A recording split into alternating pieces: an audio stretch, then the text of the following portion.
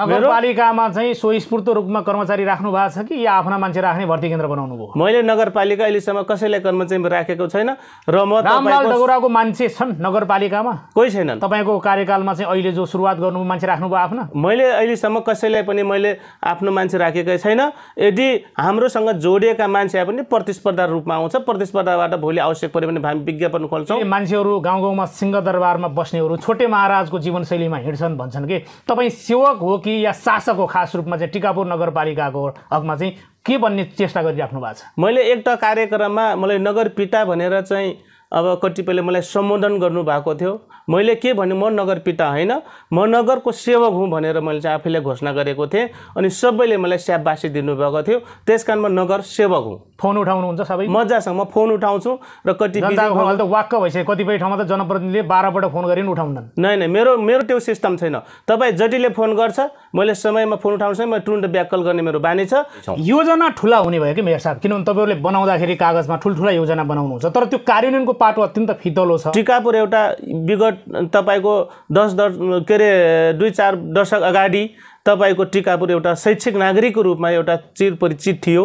आज त्यो सबै हरास भएको छ।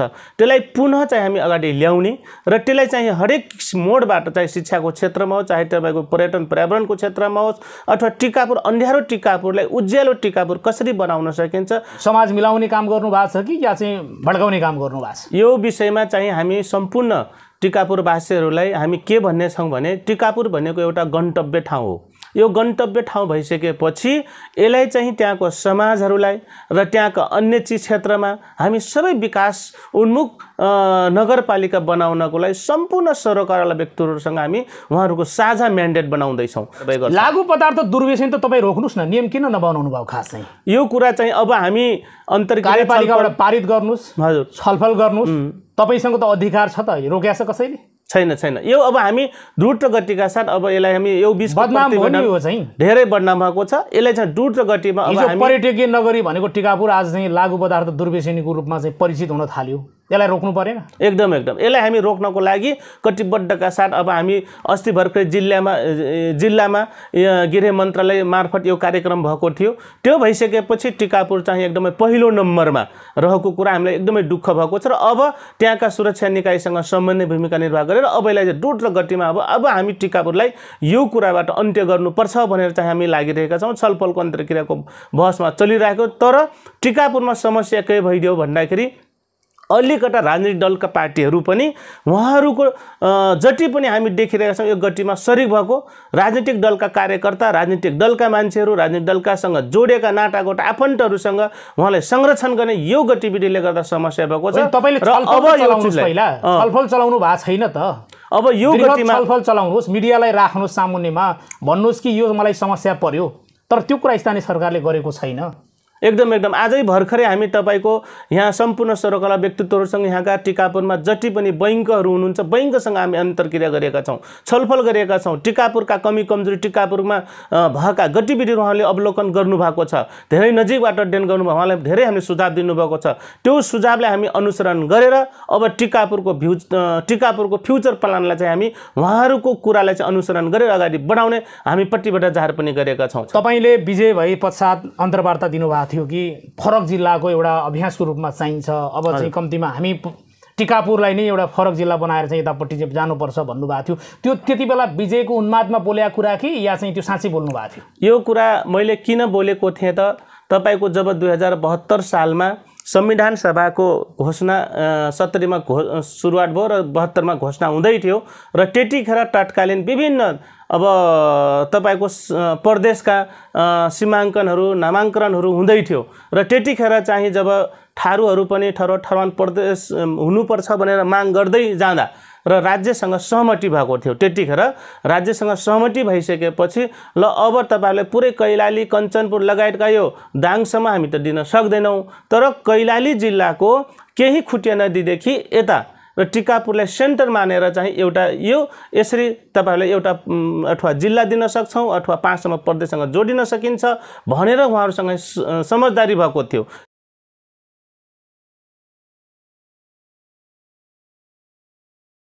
दर्शकबिन नमस्कार। यहाँलाई हार्दिक स्वागत छ। म रमेश बजगाई। कार्यक्रम भेटघाटमा हामीले समसामयिक राजनीतिका विषयमा कुराकानी गर्छौँ। आज हामीसँग टिकापुर नगरपालिकाका नगर प्रमुख रामलाल डगौरा आइपुग्नु भएको छ। उहाँसँग हामी टिकापुरको समग्र विकास नयाँ योजना त्यो सँगसँगै अहिले गरिरहेको कामको सवालमा कुराकानी गर्दैछौँ। मेरो साहब स्वागत छ यहाँलाई कार्यक्रम धन्यवाद छ यहाँलाई पनि। यो तिन महिनामा देखिने सुनिने जनतालाई भन्नुपर्ने कामको केही सुरुवात भएको छ। अब टिकापुर नगरपालिकामा हामीले तिन वर्ष के अरे तिन महिनाको पुग्ने सवालमा हामी विभिन्न किसिमका जनताहरूको मन छुने गतिविधिहरू हामी सञ्चालनमा ल्याइसकेका छौँ। अब जस्तै उदाहरणको लागि अब योभन्दा अगाडि जुन हाम्रो टिकापुर प्लान एउटा गुरु प्लान हो गुरु योजना प्लान हो आदरणीय मन्त्रीज्यूहरू तत्कालीन मन्त्रीज्यूहरू इन्जिनियरज्यूहरूले एउटा जुन एउटा गुरु प्लान बनाउनु भएको छ त्यो गुरु प्लान अन्तर्गत रहेर त्यहाँका खुल्ला स्पेसहरूलाई चाहिँ जो योभन्दा अगाडि निर्माण व्यवसायीज्यूहरूले चाहिँ अब ढुङ्गा गिट्टी बालुवा राखेर चाहिँ टिकापुरको स्वरूप जो बिगार्नु भएको थियो त्यसलाई हटाउने काम एक चरणमा भएको छ भने अब दोस्रो चरणमा चाहिँ त्यही हटाएर चाहिँ खुल्ला स्पेसलाई चाहिँ फुलबट्टा भर्दै टिकापुरको एउटा गुरु प्लानलाई चाहिँ एउटा ब्युटिसियन बनाएर चाहिँ अगाडि बढाउने ढुङ्गा बालुवा राखेका हटाइसक्नुभयो कि फेरि पनि बाँकी हजुर लगभग लगभग हामी हटाइसकेका छौँ र केही अब हट्ने क्रम पनि जारी छ। अब त्यसलाई हटाइसकेपछि अब चाहिँ हामी त्यसलाई फुलबट्टा भर्दै अगाडि बढाउने हाम्रो त्यो प्लानलाई चाहिँ अगाडि बढाएका छौँ भने अर्कोतिर चाहिँ तपाईँको अब हामी विभिन्न किसिमका टिकापुरमा जुन गुरु प्लानहरू छन् अब त्यसलाई व्यवस्थापन गर्नको लागि अब हामीले चाहिँ लगानी सम्मेलन गर्दैछौँ। त्यो लम्बा लगानी सम्मेलन किन त हामीसँग नगरपालिकाको बजेट थोरै सीमित मात्रामा हुन्छ।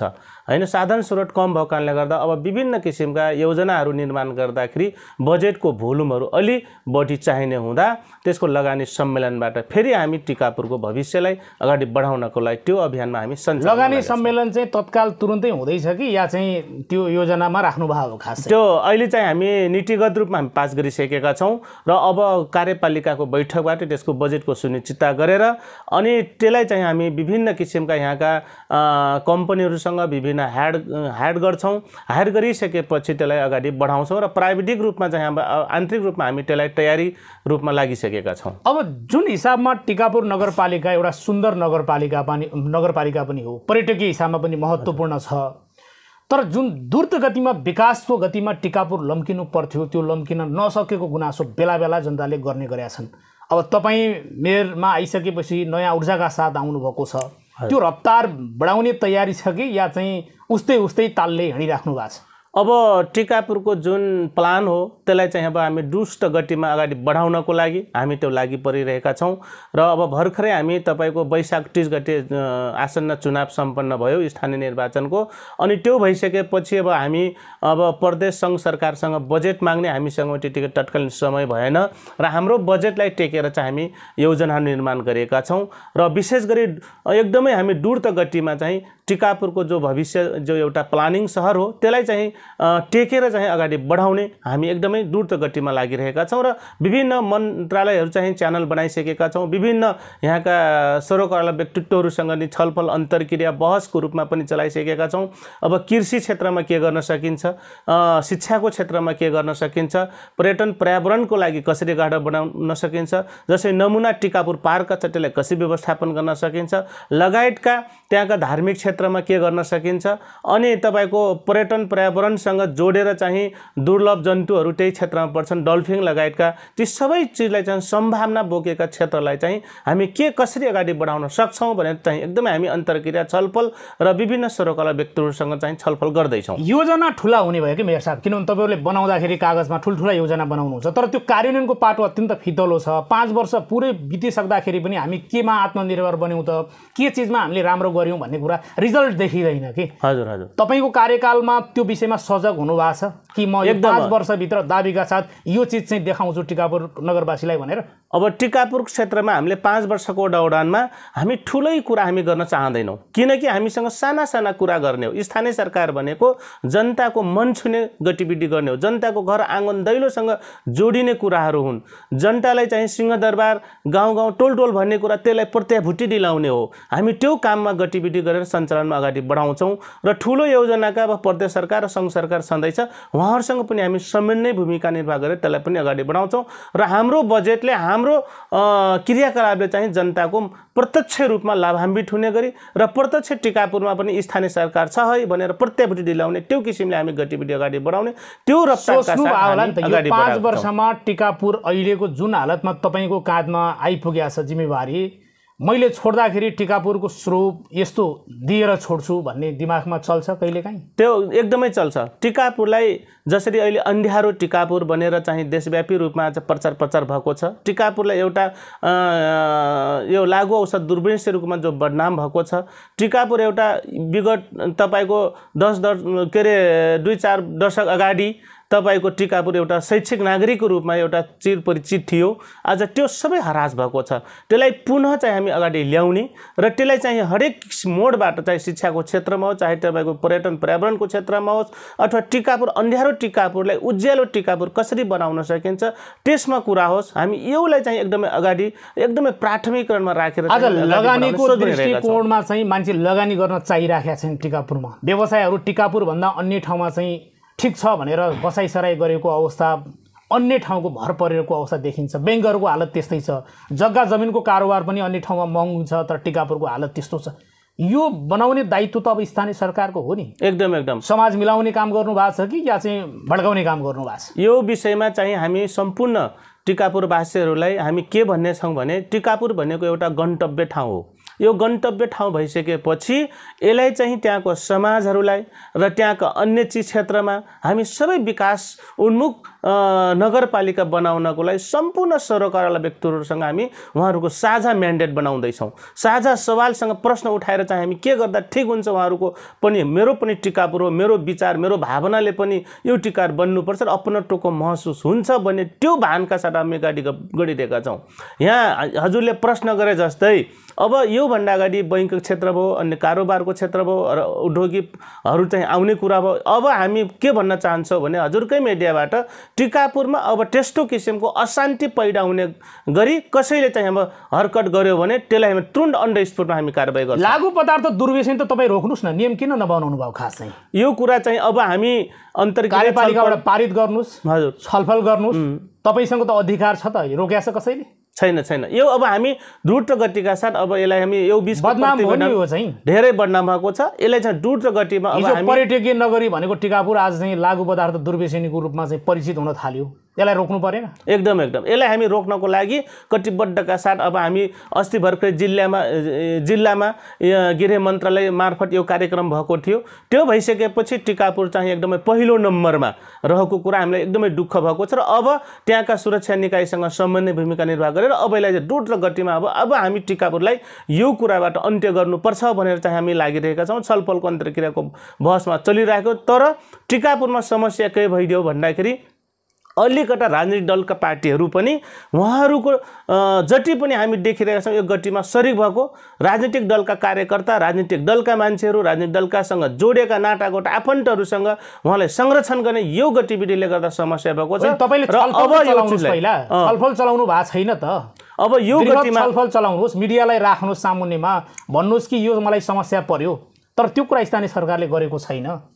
एकदम एकदम। आजै भर्खरै हामी तपाईँको यहाँ सम्पूर्ण सरोकला व्यक्तित्वहरूसँग यहाँका टिकापुरमा जति पनि बैङ्कहरू हुनुहुन्छ बैङ्कसँग हामी अन्तर्क्रिया गरेका छौँ छलफल गरेका छौँ। टिकापुरका कमी कमजोरी टिकापुरमा भएका गतिविधिहरू उहाँले अवलोकन गर्नुभएको छ। धेरै नजिकबाट अध्ययन गर्नुभयो। उहाँलाई धेरै हामीले सुझाव दिनुभएको छ। त्यो सुझावलाई हामी अनुसरण गरेर अब टिकापुरको भ्यु टिकापुरको फ्युचर प्लानलाई चाहिँ हामी उहाँहरूको कुरालाई चाहिँ अनुसरण गरेर अगाडि बढाउने हामी प्रतिबद्ध जाहेर पनि गरेका छौँ। अब निश्चय पनि टिकापुरमा टिकापुर लम्की यो जोशी जोशीपुर लगायत यो राजापुर होइन लगायत तपाईँको यो जानकी गाउँपालिका यी सम्बन्धित एरिया भनेको एकदमै बोर्डरसँग जोडिएका कुरा। यहाँका लम्की लगायत यी तटस्थ क्षेत्रका सम्पूर्ण चाहिँ अब गतिविधि पनि सरिक भएको छ। एउटा टिकापुरले मात्र नगरिकन अब संयुक्त रूपमा यो क्षेत्रभरिका यो क्षेत्र एक नम्बर दुई नम्बर तिन नम्बर क्षेत्रभरिका सम्पूर्ण हामी नगर प्रमुखहरूले चाहिँ यसमा गम् गम्भीर रूपमा अगाडि बढाउनुपर्छ। त्यसै प्रदेश सांसदहरूले पनि यसमा ध्यान दिनुपर्छ सङ्घका सांसदले पनि ध्यान दिनुपर्छ अब त अनि मात्र अन्य विकासको योजना त तपाईँहरू कार्यान्वयन गर्दै गर्नुहोला लाग्दै राख्नुहोला तर समस्या त मूलभूत रूपमा लागु पदार्थ दुर्व्यसनको यो जुन गम्भीर कुरा आयो नि यो समाजलाई नै खोक्रो बनाउने कुरा यो मुख्य समस्या आयो कि? हो। यसलाई रोक्ने कसरी?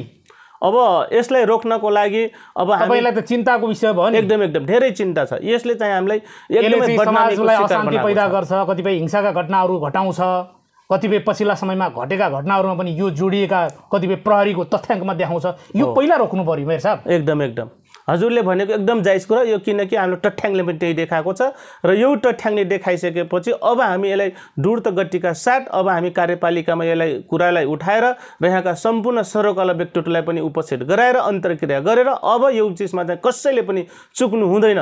यसले समग्र हाम्रो समाजलाई चाहिँ बिगार्ने काम गरेको छ। मानव जातिलाई चाहिँ एउटा लागु औषधमा दुर्वेशमा जोडेर चाहिँ यहाँ पुरै खोक्रो बनाइरहेको छ। यसलाई चाहिँ सम्पूर्ण सम्पूर्ण यहाँका मिडियाहरूसँग जोडेर तपाईँको यहाँको सुरक्षा निकायले पनि यसमा चाहिँ अलिक गम्भीर बन्नुपर्छ भन्ने कुरा हो। अब हामी देखिरहेछौँ आज योभन्दा अगाडि तपाईँको युवा जेनेरेसनले चाहिँ फस्यो भने आज महिला दिदीबहिनीलाई चाहिँ यसमा युजमा ल्याएको छ। यी समस्याहरू जटिल बनिरहेको छ। त्यस कारण यो क्षेत्रका सम्पूर्ण नगर प्रमुखहरू अ, ज्यूले पनि ध्यान दिनुपर्छ कि अब यो क्षेत्रमा चाहिँ लागु औषध दुर्व्यसन चाहिँ हाम्रो पहिलो एजेन्डा बनाएर चाहिँ हामी अगाडि बढ्न सकेनौँ भने फेरि चाहिँ तपाईँको चार पाँच वर्षको दौरानमा चाहिँ टिकापुर खोक्रो बन्छ अथवा यो नेपाल राज्यभरिमा चाहिँ एक नम्बर क्षेत्र यो लागु औषध दुर्व्यसनी भित्री नै एउटा अखडा बन्न सक्छ भन्ने कुरा सबैको विश्लेषण भइसकेको छ। त्यस कारण यसमा हामी तपाईँले लम्की। जानकी गाउँपालिका जोशीपुर आसपासका जो पालिकाहरू छन् नि उहाँहरूको प्रमुखसँग पनि यो कुरा त छलफल चलाउने बेला भयो नि। समस्या त त्यहाँ पनि छ। एकदम एकदम। यो विषयमा खुल्ला छलफल चलाउनु पर्ने बेला भएन। भयो भयो सर भयो। एकदमै एकदम एकदम खुल्ला छलफल। बहसबाट यसलाई चाहिँ निकार निकास दिनुपर्छ र यसलाई अगाडि बढाउनुपर्छ भन्ने कुरा पनि हाम्रो आजको छलफलबाट पनि त्यो कुरा उठेको छ। तपाईँले विजय भए पश्चात अन्तर्वार्ता दिनुभएको थियो कि फरक जिल्लाको एउटा अभ्यासको रूपमा चाहिन्छ। अब चाहिँ कम्तीमा हामी टिकापुरलाई नै एउटा फरक जिल्ला बनाएर चाहिँ यतापट्टि चाहिँ जानुपर्छ भन्नुभएको थियो। त्यो त्यति बेला विजयको उन्मादमा बोलेको कुरा कि या चाहिँ त्यो साँच्चै बोल्नु भएको थियो? यो कुरा मैले किन बोलेको थिएँ त?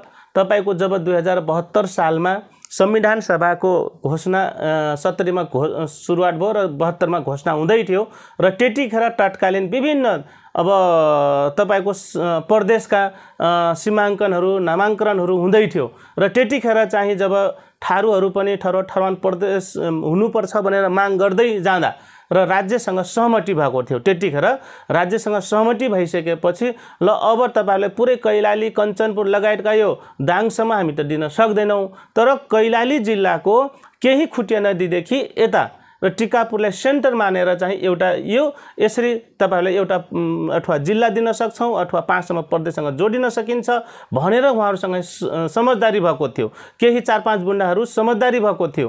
त्यो सम्झौता तपाईँको ठ्याक्कै टिकापुर घटना घट्यो। त्यो घटना घटिसकेपछि अनि तपाईँको त्यो घटनाबाट नै आन्दोलन टुह्यो र चाहिँ ती माग मुद्दाहरू पनि सम्मेलन भएन।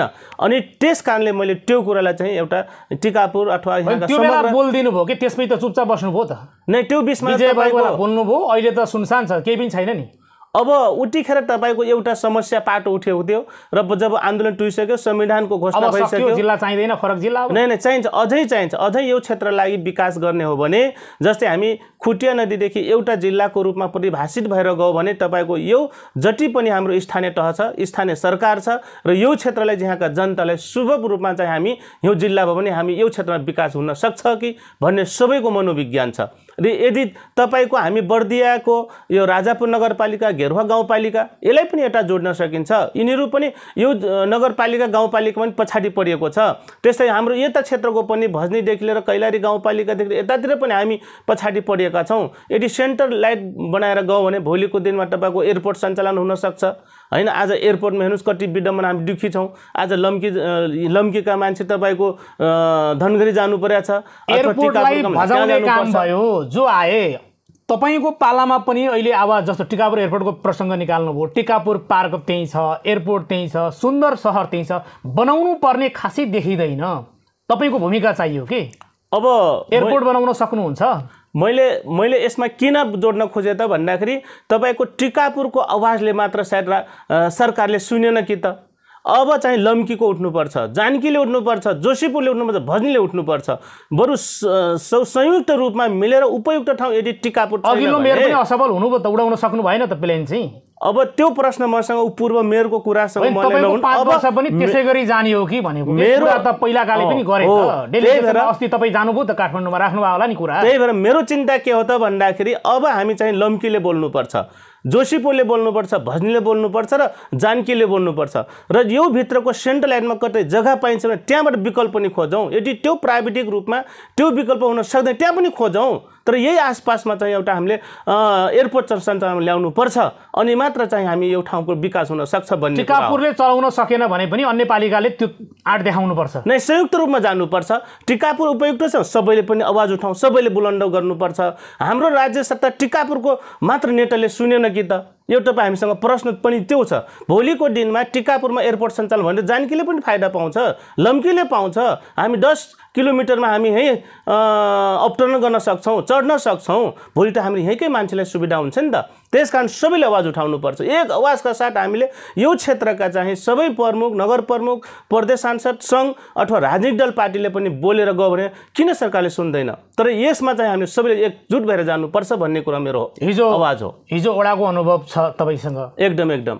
हिजो ओडाको अनुभव हुँदा र अहिले नगरमा चाहिँ आएर बस्दा त्यो कुर्सीमा केही फरक हुँदो रहेछ कि उस्तै उस्तै हुँदो रहेछ अब एउटा सिमेन्ट वाडा अध्यक्ष रहिरहँदा एउटा सबै कुरा ल- नगर प्रमुख उपप्रमुख भनेर हामी एक किसिमले टेर्साउन पाउँथ्यौँ भने अब स्वयं त्यहाँको सरकार प्रमुख भइसकेपछि त पुरै नौवटा मात्र नभइकन त्यहाँका सम्पूर्ण अब त्यहाँका जनसङ्ख्यासँग जति हुनु सबैको अभिभावक बन्नु पर्दा अलिक जिम्मेवारी बोर्ड त हुने कुरो स्वाभाविक प्रक्रिया हो।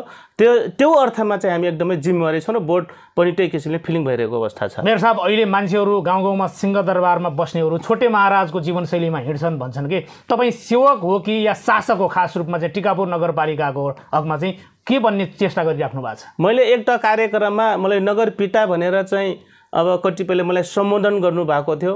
मैले के भने म नगर पिता होइन।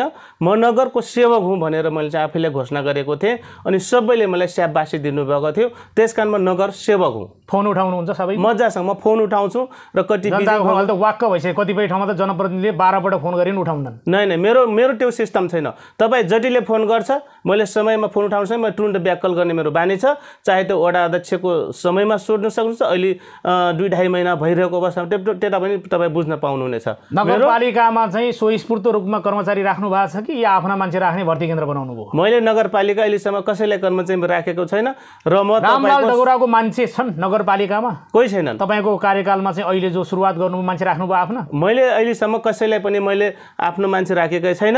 यदि हाम्रोसँग जोडिएका मान्छे पनि प्रतिस्पर्धा रूपमा आउँछ। प्रतिस्पर्धाबाट भोलि आवश्यक पऱ्यो भने हामी विज्ञापन खोल्छौँ र अनि अहिले मान्छे राख्नु भएको छ कि? नै राखेकै छैन अहिले। आफ्नो मान्छे छैन। कोही छैन। नगरपालिकामा जागिर खान आफ्नो मान्छे हुनुपर्छ भन्ने छैन। नै नै छैन छैन। बस प्रतिस्पर्धा जो टाइलेन्ट जो चाहिँ सक्षम छ ऊ चाहिँ हुनुपर्छ अनि मात्र टिकाउ बन्छ भन्ने मेरो त्यो बुझाइ छ। यो पाँच वर्ष त्यो सिद्धान्तमा तपाईँ त्यही। त्यही सिद्धान्तमै हुन्छ मेरो।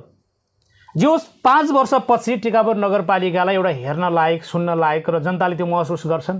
एकदमै होस् हामीले सही मान्छेलाई जिताएछौँ भनेर। एकदम हामी त्यही किसिमले लागिरहेका छौँ र हाम्रो सम्पूर्ण टिम हाम्रो सम्पूर्ण टिम एकदमै युवाहरूको जेनेरेसन छ र उहाँहरूले चाहिँ त्यही किसिम लागिरहेका छौँ र अबको टिकापुर हामीले जुन योभन्दा अगाडिले जनप्रतिनिधिले के गरे के गरेन त्यसमा पाटो प्रसङ्ग नगरौँ। तर आगामी दिनमा अब हामी टिकापुरको जो प्लानिङ छ त्यो प्लानिङमा टेकेर चाहिँ हामी नयाँ किसिममा नयाँ ढङ्गबाट जानुपर्छ भनेर हामी सम्पूर्ण जनप्रतिनिधि हामी एकजुट एक रूपटाका साथ अगाडि बढेका छौँ। अन्त्यमा केही छुट्टीको कुरा छ जो बोल्नुपर्ने बाँकी कुराहरू? अब अन्तमा म अब धेरै भाषण भुसुन भन्दा पनि अब टिकापुरमा अब काम गरेर देखाउने मेरो अब त्यसमा जिम्मेवारी बोर्ड भएको छ र विभिन्न किसिमका अब यो दुई ढाई महिनाको समयमा अब हामीले धेरै भाषण भुसुन गरिसकेका छौँ। अब चाहिँ हामीले काम गरेर टिकापुरलाई छोरे अनुहार परिवर्तन गरेर लगभग तपाईँको पाँच सात महिनाको भित्रमा हामी देखिने किसिमले काम गर्छौँ भन्ने कुरा हामी त्यो भन्न चाहन्छौँ। अब सम्पूर्ण टिकापुरवासी अब तपाईँहरू निराश हुनु पर्दैन। तपाईँहरूको आवाज तपाईँहरूका सानसाना विचार तपाईँहरूको हरेक चिजलाई पनि पल पलमा हामी तपाईँहरूले सम्बोधन गर्नेछौँ। र टिकापुर बनाउनमा पनि यहाँहरूको पनि धेरै धेरै हामीलाई सल्लाह सुझाव दिनुहोस्। त्यसमा एकदमै हाम्रो लागि ढोका खुल्ला र ओपन रहनेछ। र तपाईँहरूको विचार तपाईँहरूको हिम्मत र तपाईँहरूको जुन हामीलाई गर्नुपर्ने अपेक्षा राख्नुभएको छ सरल रूपमा तपाईँहरू हामीसँग आएर तपाईँ कुनै किसिमको यो ठुलो मान्छे हो यो यस्तो मान्छे हो कहिले नसोच्नु होला एकदमै हामी इजी छौँ सिम्पल छौँ। तपाईँहरू कल गर्नुहोस्। हामी तपाईँको रिसिभ गर्छौँ। यदि कुनै कारणवश हामी फुर्सदमा रहेनौँ भने फेरि व्याकल गरेर तपाईँहरूको सम्बोधनलाई हामी कुनै समस्या पर्यो भने टिकापुरको नगर प्रमुखलाई सम्पर्क कसरी गर्ने हाम्रो जनतालाई पनि भनिदिनुहोस्। कति बेला त थाहा पनि हुन्न नि। यो भिडियो हेर्दै पनि हुनुहुन्छ कतिपय सुन्दै पनि हुनुहुन्छ। धेरैको फोन उठ्दैन फोन फर्किँदैन भन्ने गुनासो छ। तपाईँको हकमा नहोला तर कतिपय गुनासो अन्य पालिकाहरूको आउँछ। तपाईँ नगरपालिकामा प्रमुख भएर आइसकेपछि तपाईँ यस्तो छ तपाईँ मेरो भाइ हो तपाईँ मेरो छोरा हो तपाईँ मेरो आफन्त हो तपाईँ मेरो सबै हो। त्यसकारण मैले तपाईँको सेवक भए भएको कारणले गर्दा तपाईँले मलाई डाइरेक्ट सम्पर्क गर्नुहोस्। मेरो व्यक्तिगत नम्बर अथवा मेरो जो म वार्ड अध्यक्षमा थिएँ त्यही नम्बर अहिले पनि छ र नगर प्रमुख हुँदा पनि यही नम्बर छ र अब पछि पनि यही नम्बर रहिरहनेछ। तपाईँहरू सबै मेरो नम्बरसँग कुनै किसिमको कुनै अप्ठ्यारो नम्बर चाहे रातमा फोन गर्नुहोस् चाहे दिनमा गर्नुहोस् साँझ बिहान जतिखेर गर्नुहोस्।